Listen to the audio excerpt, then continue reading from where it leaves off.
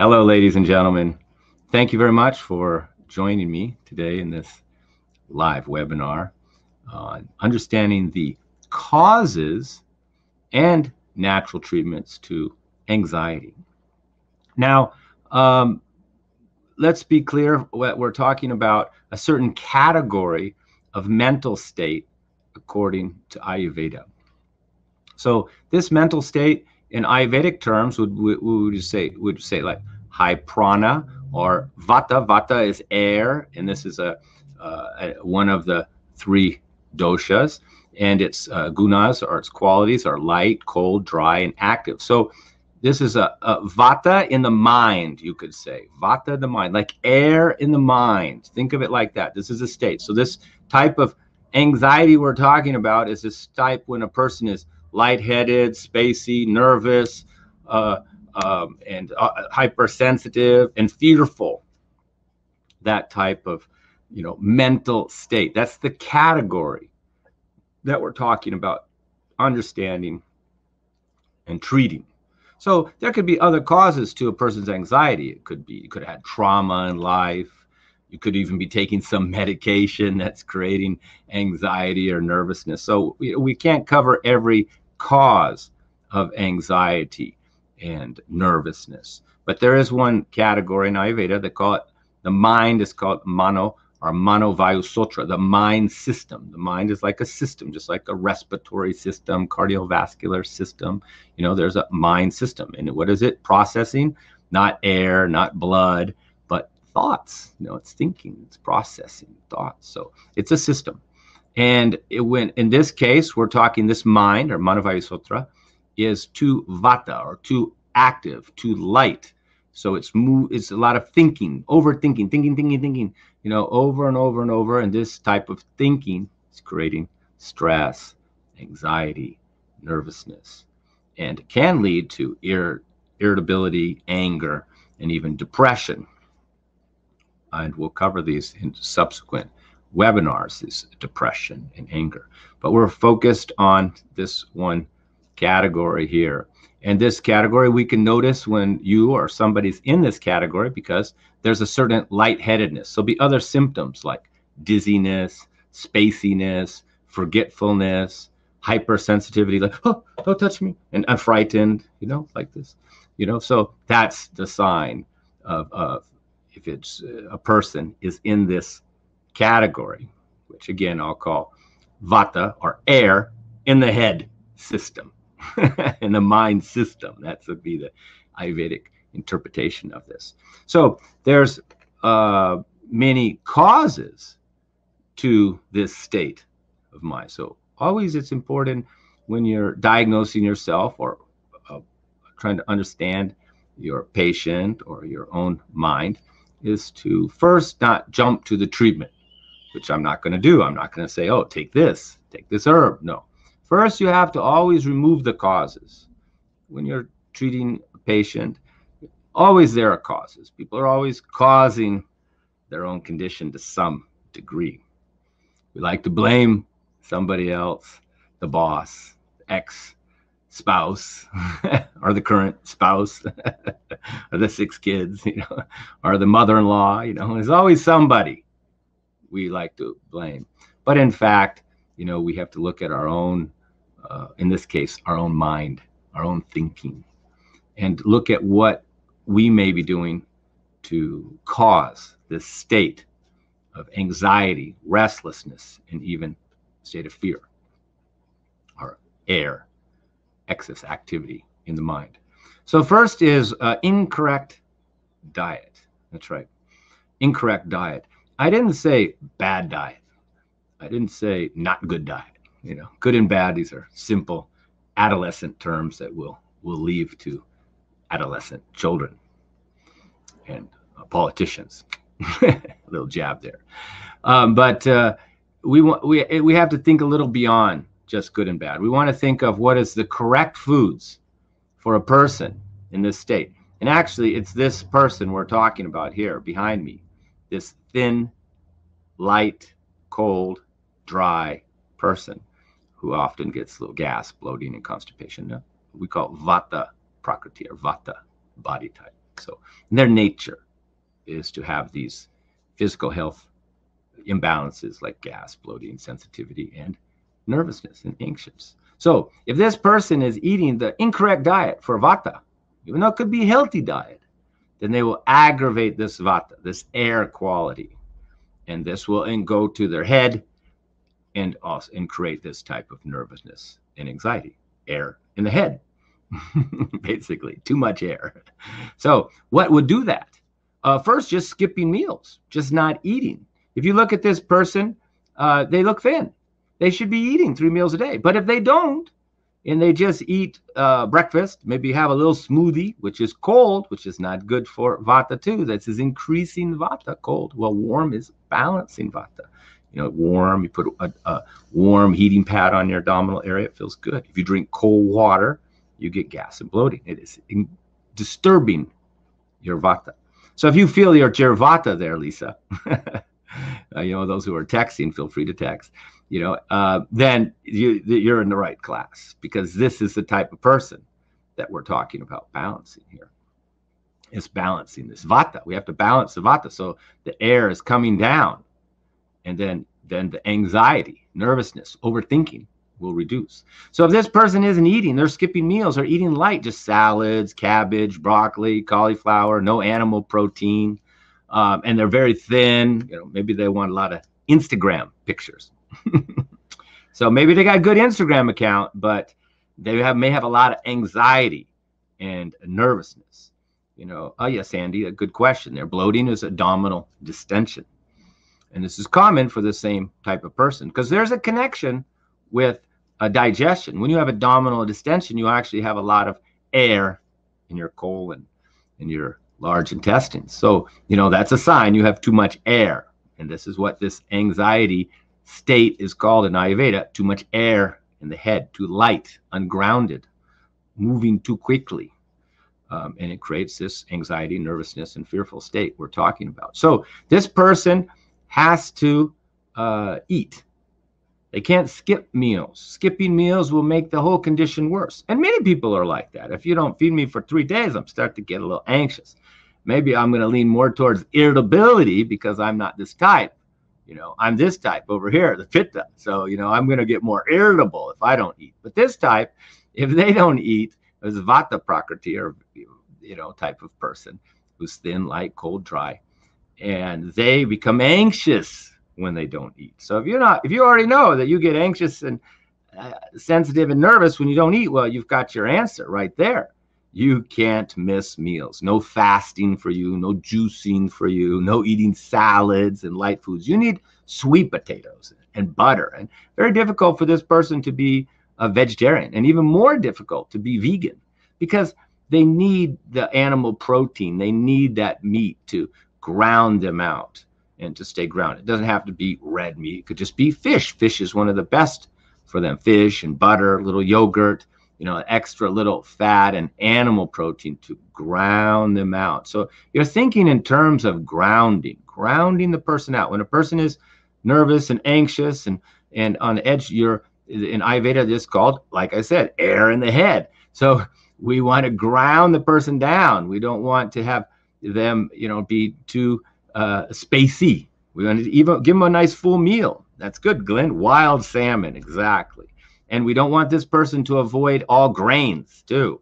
They need the grains. Yeah, that's right, Lisa. If you don't eat, you get dizzy, low blood sugar, brain fog, you know. And so it's very important to eat at a regular time breakfast on time, lunch on time, maybe even a nice little snack in the afternoon and dinner. And all should be not weight loss foods. No, no, no. It should be grounding foods sweet potato, butter, rice, you know, fish, you know these type of things apple you know and for snacks could be banana gray uh, banana sweet dates you know things that are nourishing nourishing that uh, that make you feel grounded. So this is yeah exactly Sandy comfort food. You don't want to do don't want to be skipping meals. So that's one cause of anxiety which people don't think about. And in fact the person who has this air in the head vata manavaya sutra you know they they tend to also, you know, not be anxious, lightheaded, underweight, and not sleep very well. you know so they also sleep insomnia is just a symptom of this insomnia by itself is not you know it's a symptom of this what we're talking about today the same state because this person is lying in bed thinking thinking thinking instead of sleeping sleeping sleeping you know because they're too light because they had salad for dinner and if they would have had rice and sweet potatoes and some fish you know they'd be sleeping better. And if they put on more weight. In fact a lot of clients they come in and they're this type thin cold light dry anxious nervous poor sleep gas bloating. We meet them every day. You know um, it's like i'm like a car mechanic and it's a type of car. We're used to fixing it. And you know uh, yeah that's right there Lisa i'm glad you're at the right place there that's right you probably have insomnia too it's going all together and a lot of times when I treat the client, I tell them, you eat the butter, you have the sweet potatoes, you forget this vegan thing, you just eat it, you enjoy. And sometimes they go, but I thought butter was. I said, no, just don't think. Do you love butter? And they go, yeah, I like. And then I say, eat bananas. And they go, I thought uh, bananas have too much sugar. And I go, don't, don't, there you go. The thinking is the big problem here. I said, don't think, just tell me, do you like bananas? Do you love bananas? They go, I love bananas. There you go. You have to follow your own intuition. You can't just go by what people tell you and what people read. You have to you have to tune in to your own body. And that's what I'm doing with my patients, you know. Course, Ayurveda is a system, so I can classify you, but I still to classify you and understand you, I have to tune in to your uh, your your system and your state of mind and physical state. Um, and uh, so you you need regular routine, regular foods, not missing meals, and warm, heavy grounding foods. Okay, that's first thing. and and when you put on weight, then a lot of these problems will go away. Like I was saying, a lot of clients come and they're anxious, and they come back a month later and they say, "All my anxiety, sleep problems went away." But the bad news is I put on nine pounds, and I go, "That's not bad news. That's the reason why." Your anxiety went down and your your your sleep improved because many people in this category particularly women with a lot of instagram likes are underweight because they're starving themselves and they wonder why the body's nervous and anxious because it's always in a state of being hungry you're starving yourself so if you just start eating at three meals a day the weight comes up and then comes up and then it just plateaus out and you're still a thin person as far as everybody else is concerned you just know you have seven more pounds and a little more fat on you hopefully that fat's in the right place. You know what I mean there, ladies. And um, yeah, snacking, good question, Sandy. You should never snack on crackers, cookies, and nuts, or you ruin your digestion. You just snack on fruit, bananas, dates, and things if you don't have high blood sugar. If you have high blood sugar, we have to you know, have different type of snacking for you. So digestion is also key here because if your digestion's poor, a lot of gas, a lot of bloating, a lot of constipation, not eating much because you're blocked up, then um, you won't be eating much because you're constipated, you're bloated, and you can't eat this, you can't eat that. You know, so that's when you have a digestive problem. You basically can't eat this food, can't eat that food. You know, and this you start eliminating foods. This means you have a digestive problem. You can't just blame the food all the time. Your digestive system's not working. If you can't eat a piece of bread, your digestive system's not working. You know, we love to bread blame the gluten. But you know, once you're if you're a human being and you're having some nice whole wheat bread from health food store, homemade, and you should be able to eat it. And that's an indication of your own digestion. So um, digestion's critical because if your digestion's poor, then you have another uh, result in another issue. You won't be gaining the weight that you need to feel grounded and the body not to, to, to be calm and secure. Because the body likes a little extra fat because then it's relaxed you miss a meal and it's not stressed out. Overweight people are overweight, you know, they may have 30, 40, 50 pounds extra, but they're not stressing when they miss a meal because the body's not stressing because it knows we got some reserves. Those thighs will get us through the afternoon, maybe even a couple days, maybe even a few weeks. You know, it's this stored energy in this excess fat. No, of course, excess fat, too much, has got a lot of health uh, uh, hazards to it but you're, you're not stressing out. You're you're not hungry. That's the, the, the, pro. So you have to find a balance. If you're underweight you're going to have more stress basically. If you have just a little fat and the body feels comfortable it's getting fed three four times a day then it starts feeling more relaxed you know uh, about this. So um, if you are having digestive problems, you could say you're having malabsorption, which we can see by indentations on the side of the tongue, gas, bloating, constipation. These are all signs of poor digestion. Then you're going to end up in time of nutritional deficiencies. And nutritional deficiencies, particularly of the B vitamins, uh, will create more anxiety, more nervousness. And sometimes we see this with people who have been no grains, no grains, you know. So then they're not getting any B vitamins, and this is creating more anxiety. Even overweight people who should not be eating a lot of grains, definitely not wheat, and oats, because they're overweight. You know, when they leave out all the grains because we tend to be a little extreme um, in our society. Then, then what happens is even an overweight person can start to have anxiety because they depleted themselves of all this uh, comfort food, the grains, which we now know included the B vitamins. So you don't want to deplete yourself nutritionally. So um, skipping meals and having malabsorption will result in depletion of the body. And um, you know we should. That's a good question there, Sandy. What size? You should eat your three meals till you start to feel full.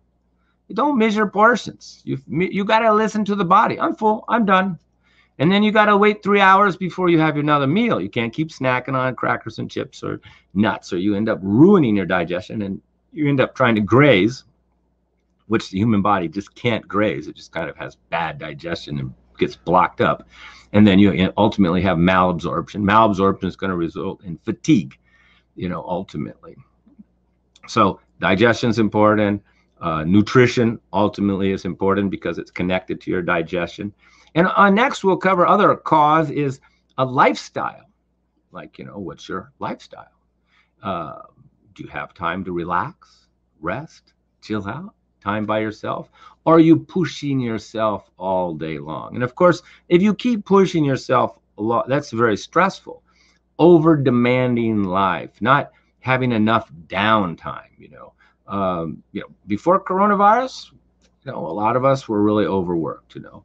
And one benefit, you know, if you still are working, but maybe you're working less, you're not as busy, you may find that you're more relaxed. It can be to your advantage to not have as much work and not stress. So I think a lot of people take on more than they can chew, so to speak. Um, do uh, too many projects, uh, too many children, maybe, and uh, too many jobs, too many companies uh, too many expense. You know that will create stress. I see a lot of people. If you have a lot of ex, uh, expenses, a lot of bills, and uh, it's going to create stress in your life. If you're spending more than you're able to, you're earning, and you have a lot of debt, this is also going to create stress. But I'm not here to give you financial planning, but I'm talking about your lifestyle. You're going to feel more peace by having money in the bank and knowing that you're safe in case we have another pandemic or something come along um, than you are by buying a lot of things and being in debt. Debt's going to create more stress. Buying things is only short-term happiness, but if you got you got to pay for it. You got to have the. It becomes an expense, and you you're going to feel more peace of mind, as my beloved mother would say, by having savings in the bank and not spending. So, and you're going to have more peace of mind by uh, knowing that you're secure financially. So this is very important. So, you know, you want to eliminate things in your life that you know are creating stress. So uh, next we'll talk about your environment because your mind is supported by and controlled by what system in the body?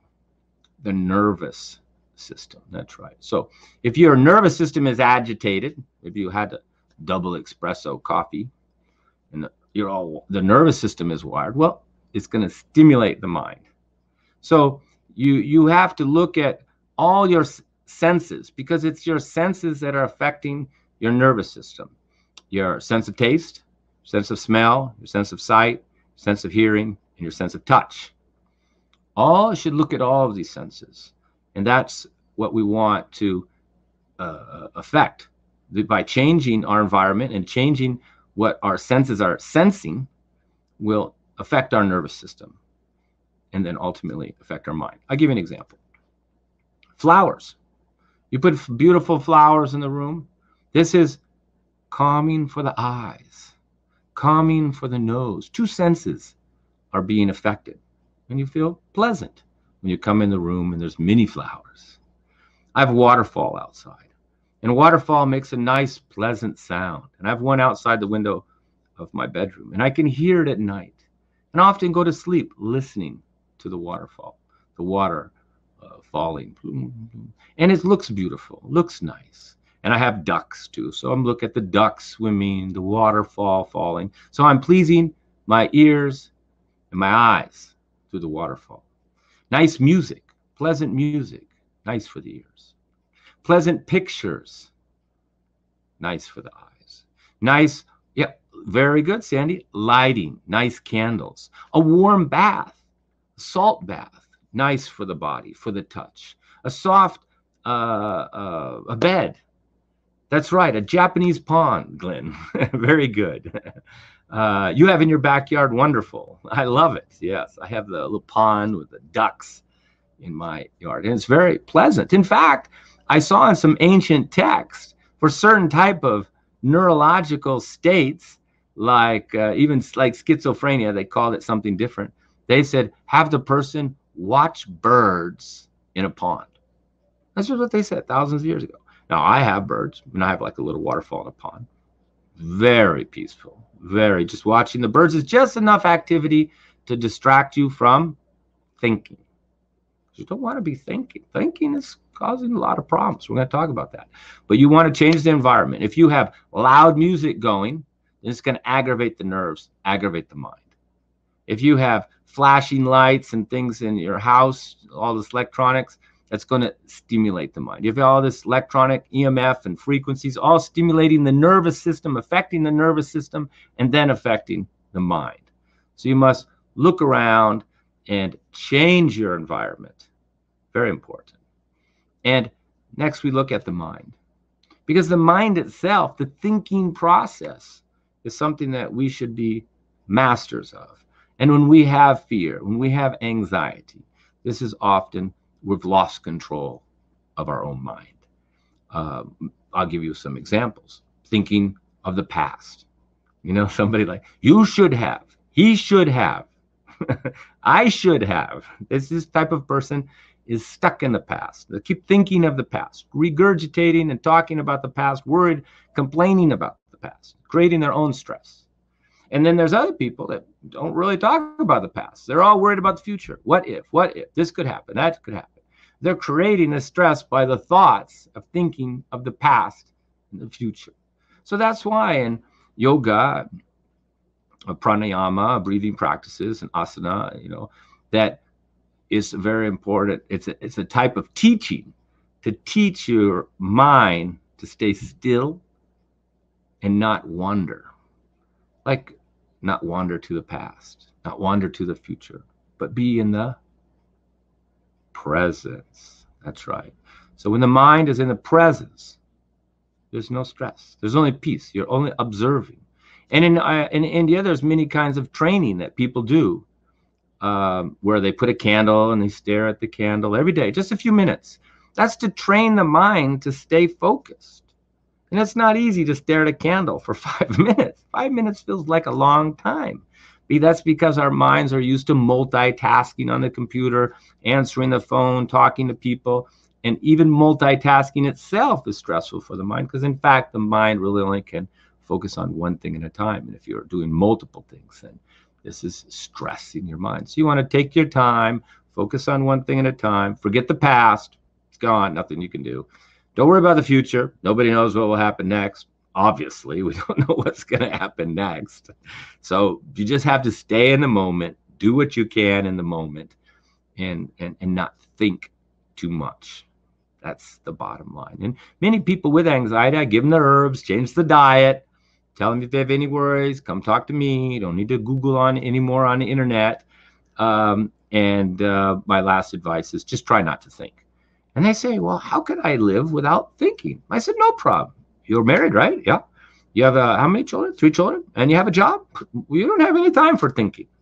As a luxury, you can maybe on vacation. You can go to meditate in the mountains and think about life. But now you have three kids, husband, job. You just focus on doing. doing. You get up on time, you have your breakfast, you cook for the kids, you know, you go to work, and you just focus on what you need to be doing in the moment. No need to think. Thinking gets us in trouble. Now, there's times we want to think if you're a young lady and somebody says, Hey, jump in the back of my car, you better think this can't be good. So there's times to use your head, particularly when you're a teenager. Think first, you know. So if you're a teenager, you're better to think because we know teenagers do stupid things. but for the rest of us who are adults and we're not going to do stupid things, we're just and we have a, plenty of responsibilities, and we shouldn't be uh, uh, worried about the future and the and uh, thinking too much of the past, or not at all. And just stay in the moment, do what we have to do, do what is necessary. So try to concentrate on your thinking. Do yoga, do breathing practices, do meditation, what you can to steal your mind. And many people have told me that they came to me i changed their diet they felt better they took the herbs the herbs really helped but then they then they their mind was feeling more calm so then they went did a class on meditation and that's it once they had that meditation technique down every day no more stress no more anxiety and didn't need the herbs anymore so it shows you the power ultimately is within you to steal the mind but the herbs can help and uh, uh, and having the body not be stressed by being nutritionally deficient or underweight is still very important. So uh, we talked about controlling our environment and making things nice for our senses. We talked about the diet. We talked about lifestyle. Um, we talked about you know also the importance of sleep. You know, poor sleep, um, and we talked about you know stilling our mind and trying to stay in the moment. And so if we know that the goal is not to overstimulate our nervous system and aggravate our nervous system, we could say, which is going to aggravate our thinking and overstimulate our, our thinking, then we the first step we need to make is to eliminate stimulants. What are stimulants? Yeah, that's right, folks. Coffee. uh, coffee, green tea, black tea. Yeah, I know, Darren. I, I can see the sad face. But this is a true reality. If you're overthinking, not sleeping, you're anxious, then coffee is aggravating your condition. And I know uh, if I had a dollar for every time I heard, but I only have one cup in the morning, I would have a lot more money uh, because people think like this. But in fact, that coffee, caffeine is in your blood for days definitely at night. And it's very stimulating and aggravating for your nervous system. And often what happens is people were very this very busy and active in their lives and you know most of their youth and then when they got overwhelmed with work and skipped meals and became depleted they were starting to crash lose their energy maybe through malnutrition um, lack of uh, eating and uh, depletion then they just took coffee to what we say push through it and this push through it could go on for 10 years, 20 years till those kids grow up.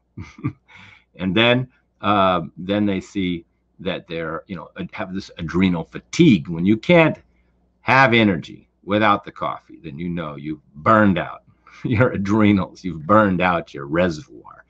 And so it can take some time to recover from that, even six months, one year minimum to really recover. But putting on the weight and uh, all the other suggestions I've made will help. And of course, the herbs will help too. And often we can give other herbs, which I'll talk about, that can help you with overcoming this type of uh, uh, adrenal fatigue or burnout. So you can withdraw from your addictive coffee. And uh, of course, there's other addictions as well, and that is uh, sugar, sweets, candies, cookies, chocolate, Chocolate is very stimulating. I know many, it has magnesium, but it's very stimulating. And I'm not saying that um, uh, your you know coffee's bad. If you're an overweight, heavy person who's lethargic, slow, and sleeps heavy and can't get out of bed in the morning, have your espresso in the morning. And yes, uh, Sandy, you know, a dandy blend. This is made of dandelion, burdock, I, I believe, and uh, I think roasted dandelion. So it has that robust flavor. But I'm going to suggest, of course, some other herbs that can be more soothing and even healing for the nervous system. And in fact, many of these herbs are, we could say, food for the nervous system to help them heal from their aggravated state. So, shall we cover some of these herbs now? Let's start with a few Western herbs. Let's see here what we got. Oh, one of my favorite herbs that would, if you could just make this one tea, we're going to start with the nervines first. Uh, you go for it there, Glenn. You go for it. I feel you. Um, passion flower. Very uh, nice, soothing nervine. Um, and it's working very good on the nervous system. Not enough, not sedative to make you sleepy, but just nice to take the edge off of you. Now, um, and we also have a skull cap. Now, skull cap is another nervine, but a little stronger, um, and it can be used even to help induce sleep. It's a little stronger. Uh, motherwort, which we use mostly helping uh, to calm the heart muscles. We use this in heart palpitations, and the same type of person has anxiety and nervousness. You may find has the mind singing too much, and the heart is racing. So when you have this case, then we use more motherwort. It's good for the nerves, but particularly good for um, uh, heart palpitations. And, and this type of nervousness can be a cause of high blood pressure. There's many causes of high blood pressure. Yes, Lisa, you could just make passion flower tea. Um, now we could add more to it. Um, we could add a little motherwort to it. Uh, what else we got here? Um, now this is a oat straw is uh, very nutritious as far as, and it's considered very soothing for the nerves. That's why we always recommend people with a lot of anxiety to have oatmeal. Oatmeal is very, it's almost like sedative if you drink to eat too much. Some people will say if they don't have anxiety, I eat a bowl of oatmeal and I go to sleep. But if you have a lot of anxiety and you're nervous and you have a big bowl of oatmeal, you're perfect. but if already, you wouldn't want to do this if you're uh, slow and sluggish and sleepy in the morning. You have a big bowl of oatmeal, you're going to go back to sleep. But oats is very, it's not so much like a nervine. You don't really feel more relaxed, but it you feel more nurtured, healed. It's like food for the nerves, oats.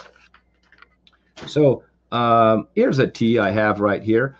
And it's a using these herbs that I just mentioned. There we go. Relaxing and calming tea. There he goes. Reduces anxiety and stress. Works like a champ. Been selling this for decades. Now, lemon balm is from the mint family, but this is this is the lemon balm that's a little more nervine. There's your skull cap. Catnip, which I didn't bring down because it's up on the very top of the shelf, so the cat can't get it. So I forgot it. Um, there's your motherwort, which I talked about. Lavender, which I'm out of right now, so I didn't bring it. But nice smell, nice nervine. There's your oat straw and passion flower, which is really almost the key herb here. Rosemary, just helping with the circulation, kind of like a catalyst, you know, helping all the herbs work together. Rose petals, just because it makes it smell nice and you get that special rose scent to it. Um, and cinnamon, again, like rosemary, like a catalyst, kind of making all the herbs work together. Because it's good to have like a little carminative herb in there, a little warming herb to help the the formula work better. So you know these formulas they work better than just single herbs. So that formula there that you see is going to work better than just passion flower. And it's definitely going to taste better with the lavender and the rose petal. It's going to work better because the cinnamon and the rosemary bringing it all together you know yeah no not uh, it's a good question there lisa we're not using much chamomile if you're really anxious you know you could put a little chamomile in there chamomile is uh, kind of a sleeping more of a sedative herb. And you know we definitely have it right here. So now we'll talk about a little bit more stronger sedatives. There's the chamomile right there. Yeah i mean just smell it. It makes you a little sleepy just smelling it there. Um, and and a more a more sedative herbs, hops. They make beer from. That's right, very sedative. Um, and then poppy seeds. You know, this is from the opiumate uh, family. Poppy. This is California poppy. Illegal in some countries, even in this form. You can't be shipping this poppy seed all over the place. They get a little sensitive when they see those seeds. Um, but here um, in California, it's fine and definitely a sedative. So there, we put all those together and we make uh, a tea. Uh, here I didn't, uh, here's the label of the tea right here. sleeping tea. That's where we use the chamomile to answer your question there. And here I'll show you the label. There it is, sleeping tea.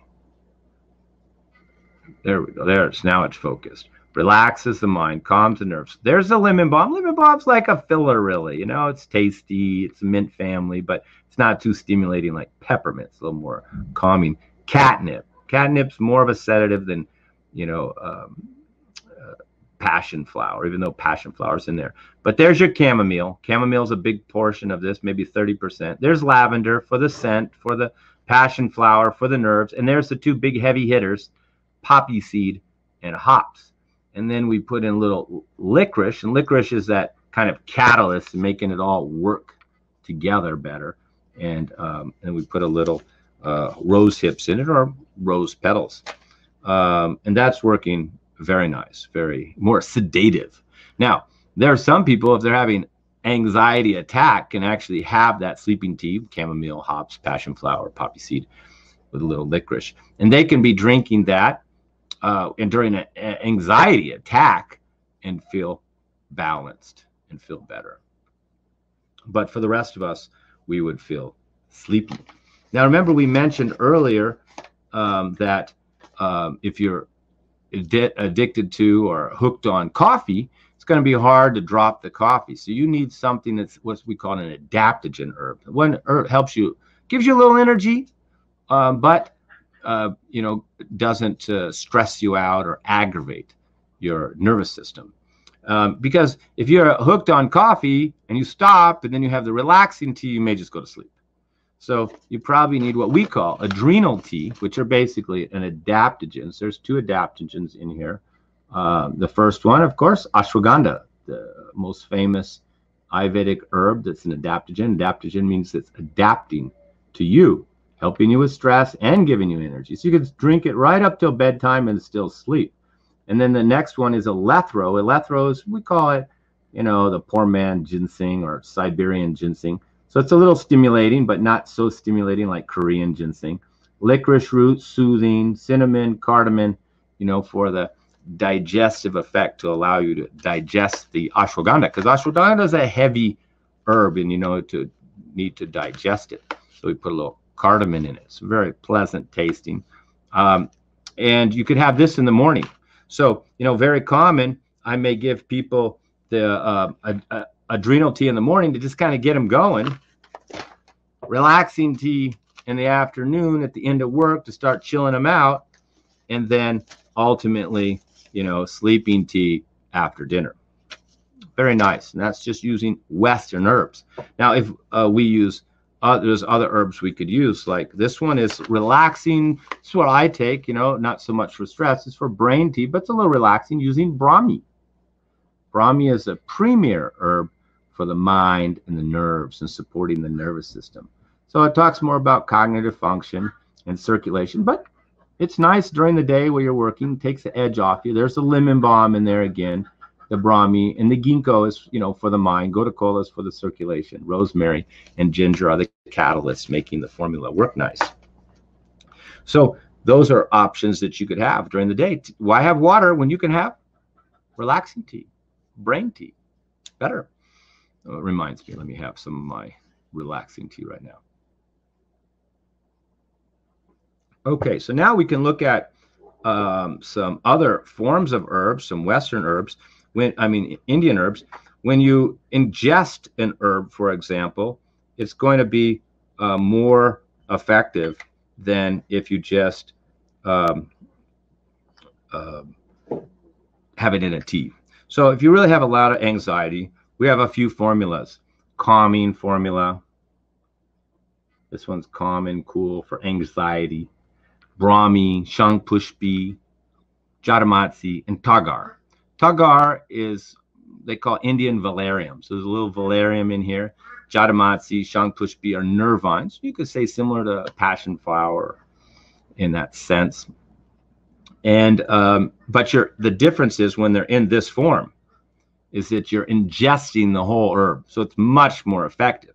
So if you're really having a panic attacks, then um, then I will recommend you you take the calming one in the relaxing tea And sometimes the people come back and say the relaxing tea is nice tasting, but it's this calming formula that's, you know, really helping me to uh, stay balanced, grounded, and calm.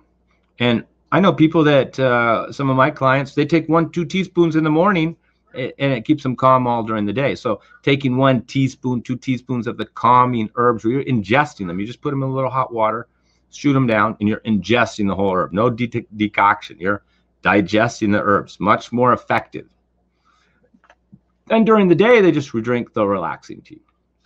I have other clients, and they say, well, they they were on maybe anxiety medication or they have a very high stress life. They're doing the relaxing tea all day with the calming formula in it three, four times a day. Um, and, you know, we have some of these herbs in a single form there. This is, again, Tagar. It just happens to be in a capsule. But you can see there's only one ingredient there on the bottom, and that's called Tagar. Tagar is that Indian valerian. This just happens to be in a capsule form. Very good for the nerves, very sedative, particularly in that uh, form. Um, and here we have another sleeping formula. Again, the power is much stronger than the tea. If people are real bad insomniac, I'm going to give them both. You know, and then what do we have in there? Tagar is the first ingredient again.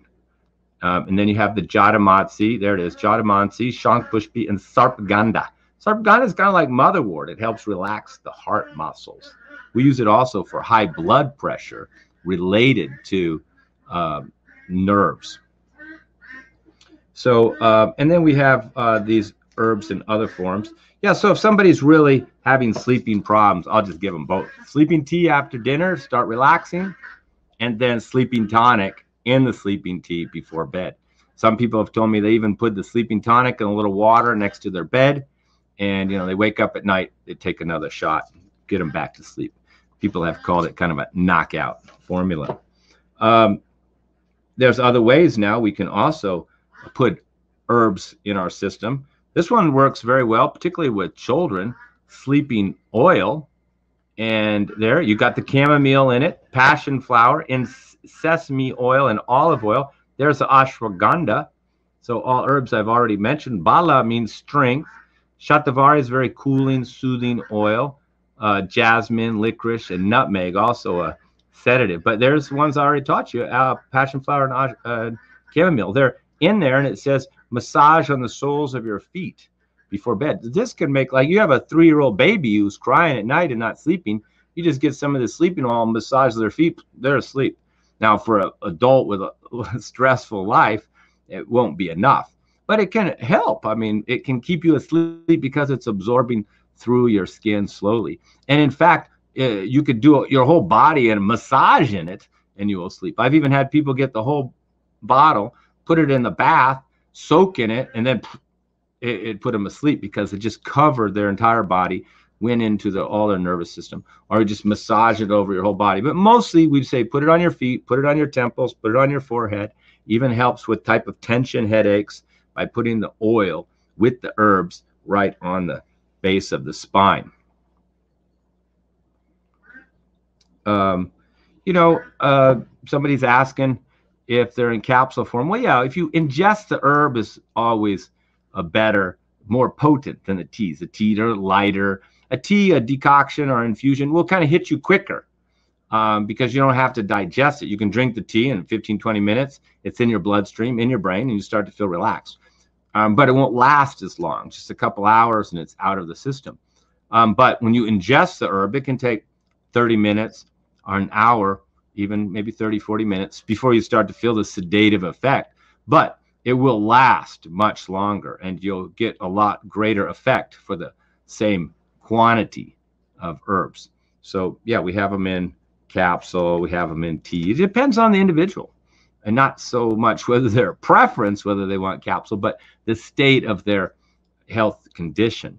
Like those capsules are actually stronger than the powder because there's only one herb in it.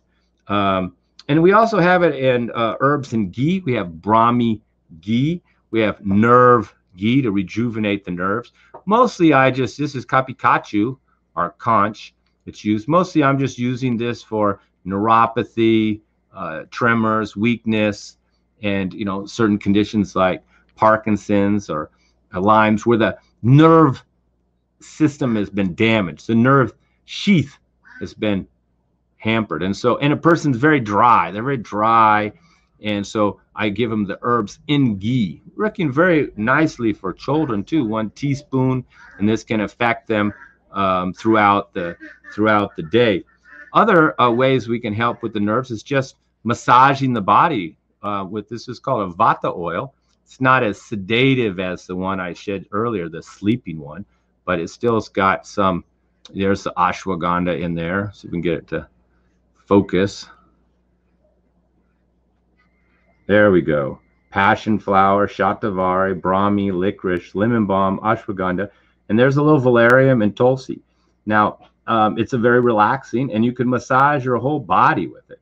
Again, once again, the feet, the forehead are the most important areas um, for your nerves. So if you got your whole body massaged in that relaxing oil, take a salt bath, then get a whole body oil massage, then drink the sleeping tea, and then throw in some sleeping herbs, you're going to get to sleep.